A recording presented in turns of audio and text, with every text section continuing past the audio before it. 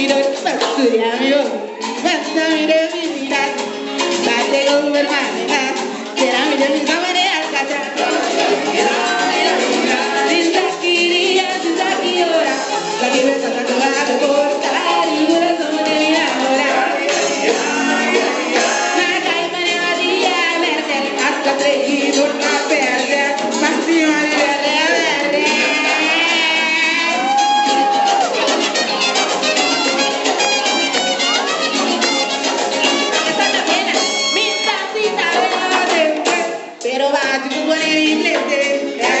International.